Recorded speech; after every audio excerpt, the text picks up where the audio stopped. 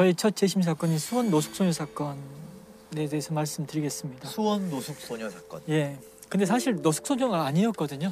그 가출한 아이였습니다. 그래서 집을 가출한 지는 한 2, 3일 정도 된 아이였고 근데 그 아이의 이제 행색이 좀 지저분해 보여서 이 노숙하는 아이로 그냥 그 초, 초동 수사 과정에서 그렇게 이제 규정 지어버렸고 실제 신원은 예 신원은 밝혀졌습니다. 네. 15살의 아이였고 지적 장애가 있었고 또 시각 장애도 있었습니다. 네. 어떻게 살인 사건이 어. 일어난 건가요?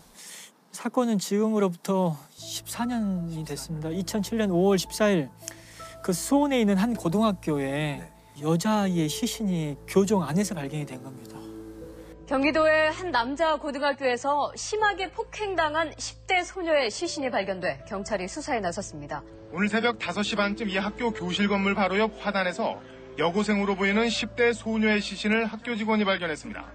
발견 당시 시신은 머리와 얼굴, 발 등에 심한 멍이 들어 있었습니다.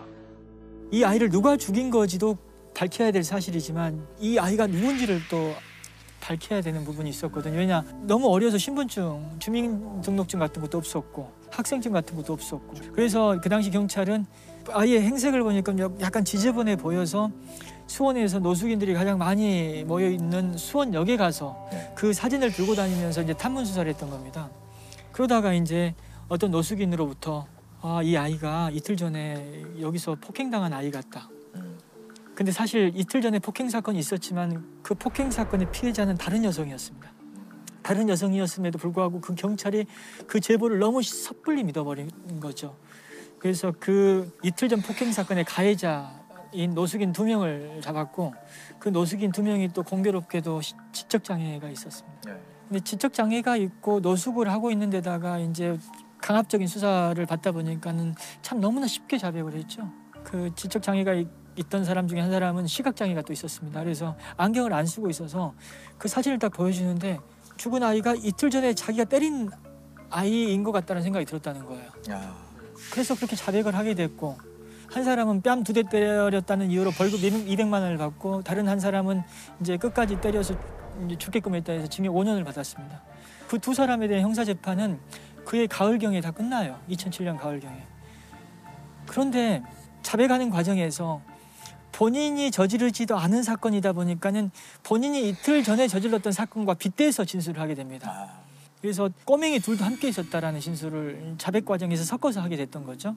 그래서 사건의 내용이 어떻게 알려지냐면은 그 두 명의 노숙인과 이 밝혀지지 않은 꼬맹이 두 명이 합세해서 그 아이를 때려 죽인 걸로 그렇게 사건이 결론 지어졌고 그렇게 소문이 퍼졌던 거죠 수원 네, 역사에. 네.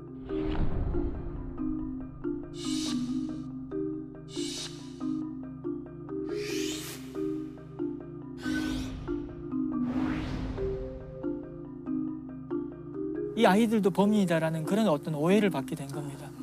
제보를 받아서 이제 그 검사가 수사를 진행했고 아이들이 하나씩 하나씩 잡혀갔고 그 아이들 다 학교 안 가는 수원역에서 노숙하던 아이들이었죠. 그 아이들이 이제 자백을 또 했습니다. 그래서 총 일곱 명이 사람 죽였다는 자백을 했거든요. 네. 검찰은 그러나 이 사건의 범인이 더 있다는 제보를 받고 사건을 다시 수사한 결과 18살 최모근 등 5명이 폭행을 주도했다는 사실을 밝혀냈습니다. 이들은 당시 수원역 근처에서 김양에게 돈 2만 원을 훔쳐갔냐고 추궁한 뒤 근처 학교로 끌고 가 폭행해 숨지게 한 혐의를 받고 있습니다. 그 아이들은 1심에서는 유죄를 받았습니다. 받았는데 2심에서 무죄로 풀려났고 2심에서 무죄로 풀린 거죠. 그러다 보니까 재판 과정에서 한 1년 동안 수감 생활했던 것이고 이미 형이 확정되었던 그 노숙인 5년 받은 사- 사람은 만기 복역했습니다. 복역하고 나서 재심을 통해서 무죄 판결을 받았고 무죄 판결 받았어요. 예. 그럼 다 일곱 명이 결과적으로는 다 무죄. 예, 판결 다 무죄를? 받은 범인이 사건. 없는 건가요? 결국 못 잡은 거죠. 못 잡은 이. 사람들은 진범이 아닌 거죠. 네, 네. 네. 저는 일단은 일곱 명이 자백했다는 사실이 사실 충격이었습니다. 사실. 그것도 물리적인 어떤 강요나 고문 참기 힘든 어떤 폭행이나 이런 협박도 없었는데 이걸 설명하기 참 어려웠습니다. 그래서 왜, 왜 자백을 하죠? 잘 이해가 자백 왜. 하냐면 아무리 아니라고 해도 믿어주지 않는데 이 상황에서 나를 도와준 사람이 하나도 없는 거예요. 네. 오히려 내 앞에 있는 검사, 이 추궁하고 있는 검사는 수사관이 이 사람한테 잘 보여야지 그나마 나한테 나은 판단이 나올 수 있다. 자포자기 상태에 쉽게 빠집니다. 네. 그리고 또 일단 이 성- 순간만 좀 빨리 모면하자.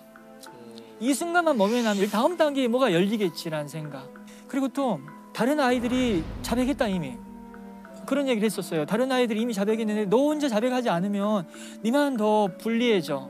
그런 기망도 있었고 벌을 줘야 될 상대인지 아니면은 순간적인 잘못을 저질렀기 때문에 이 교육하고 교화해야 될 사람인지 그 판단을 내가 설수 있게 해달란 말이야. 너 그렇게 하면 어떡하겠냐. 그래, 그러면 안 돼. 너 큰일 나.